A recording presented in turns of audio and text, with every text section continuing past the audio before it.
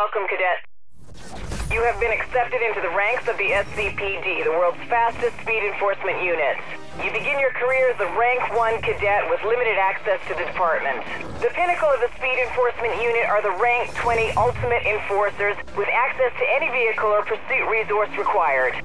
Your career with the SCPD will be measured on your performance in the field. All of your actions are monitored and recorded in the system as bounty. The more bounty you are awarded during an active mission, the faster you will progress through the comp ranks.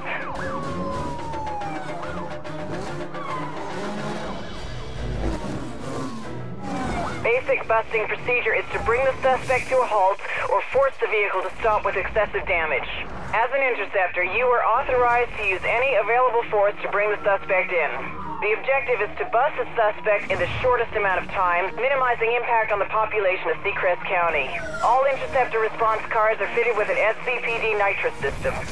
Use this system to give your vehicle a short burst of acceleration, enabling you to close the gap or impact the suspect with more force.